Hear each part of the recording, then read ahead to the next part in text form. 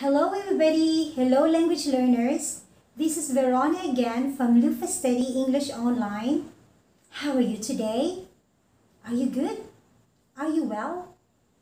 What is the correct grammatical sentence to respond to that question? Is I am good correct? I am well wrong? Or both can be okay? To answer that question, you have to keep watching.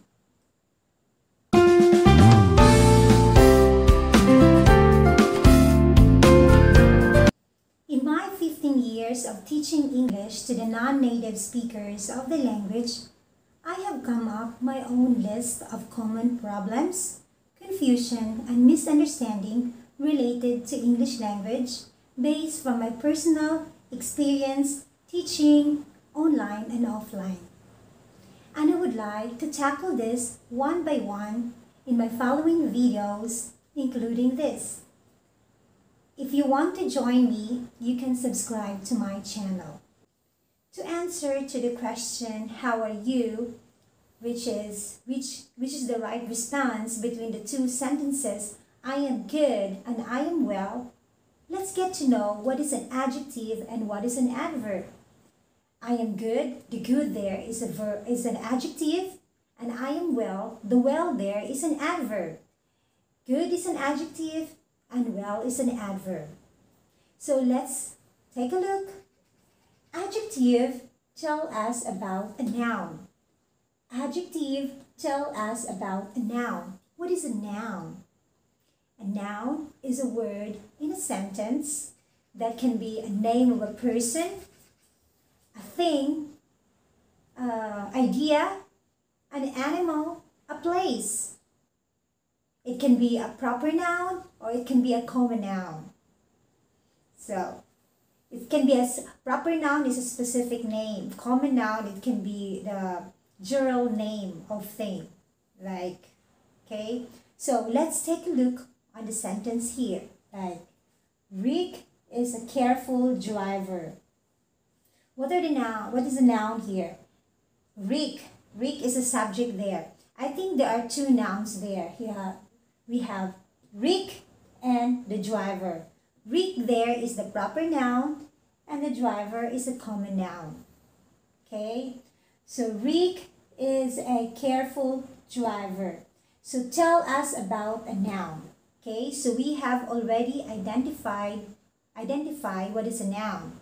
So let's identify, let's find out what is the adjective there that tells us about the noun.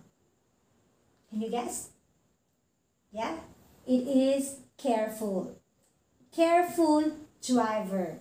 Rick is a careful driver. So careful there is an adjective because it talks about a noun, which is Rick, careful, or here, the driver. Rick is a careful driver. Okay? Understand? What is an adverb? An adverb tell us about a verb.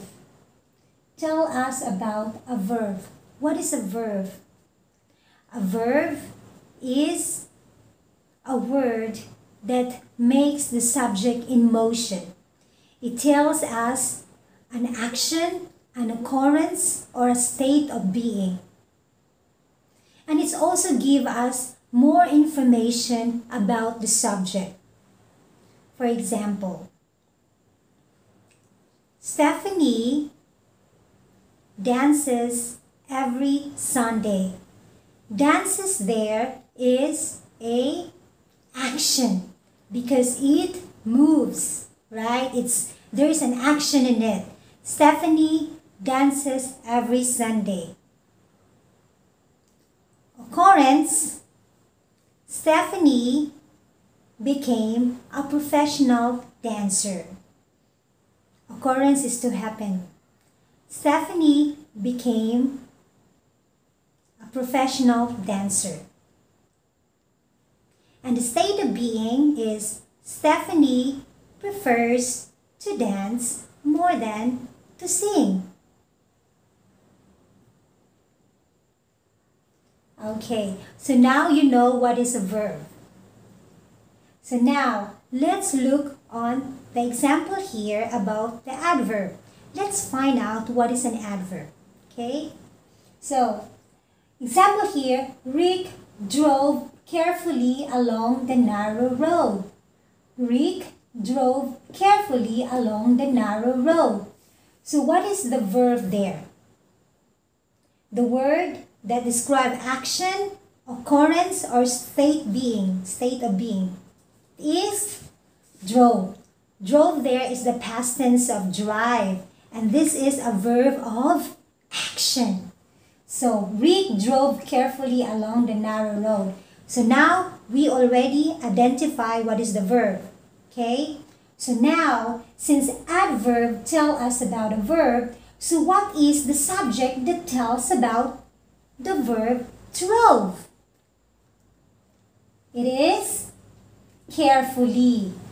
Rick drove carefully along the narrow road. It talks about how Rick drives or drove. So this is the adverb. And going back to the adjective. So you see, adjective tell us about a noun and adverb tell us about a verb. Okay? So second, second differences. Okay, a second different thing about adjective and adverb.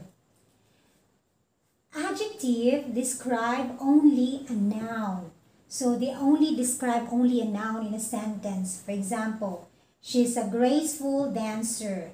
So graceful there describe about her, about the subject she. And here, the adverb can describe a verb, an adjective, and adverb. So we know these three, right? So example, she dances gracefully. She dances gracefully.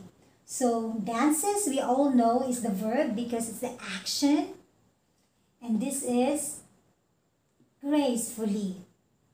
And adjective, okay? She's extremely graceful.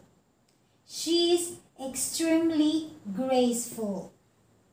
So what is the adjective there that tells about the, about the subject. It is graceful.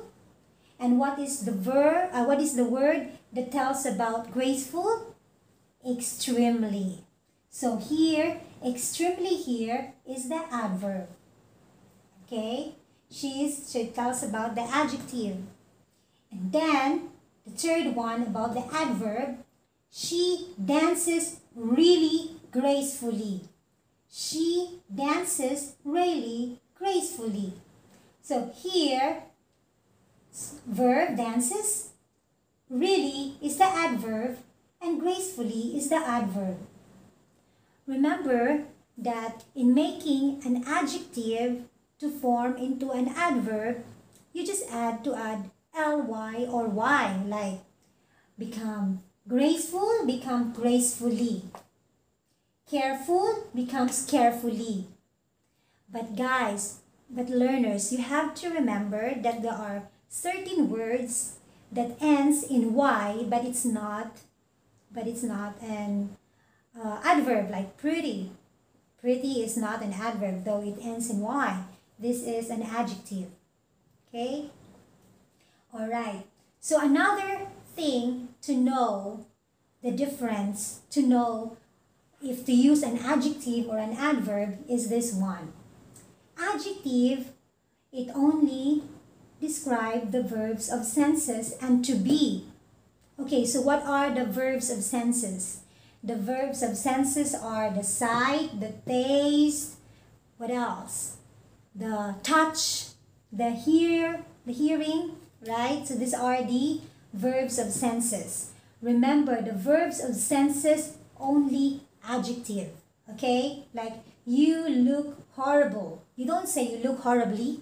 You say you look horrible.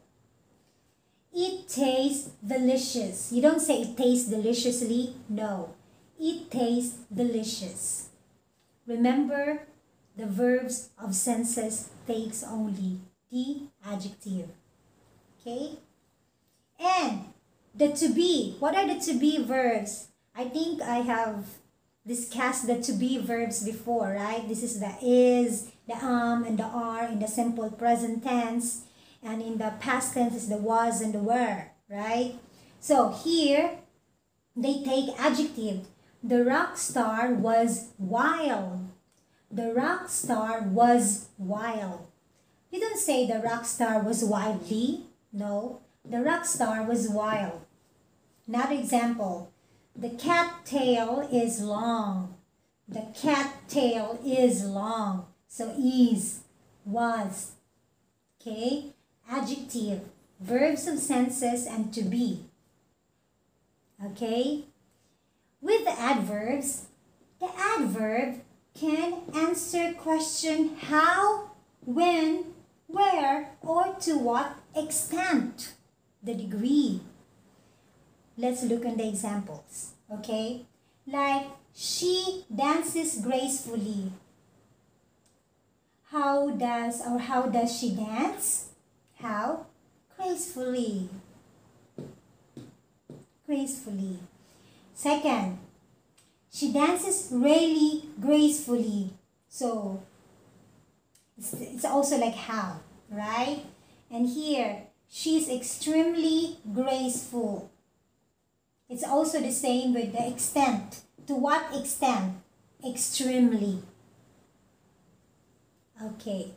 So going to your to our sentences, the answer to the question, how are you today?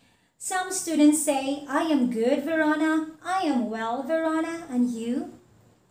So some people think, oh, which is, some student ask, which is right, Verona? I am good. Since you said that to be I am good to be should be I am good is right because based from the from the grammar rule to be verb takes adjective and good is an adjective and well is not an adjective well is the adverb of good right so okay you are right with that you can say I am good that's correct but but remember if there is a rule, there are also some exemption of the rule.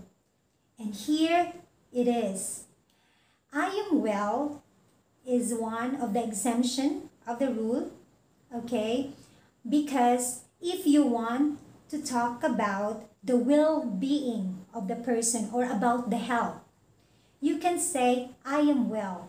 I am well is right when you talk about the health, the well-being. How are you? I am well, Verona.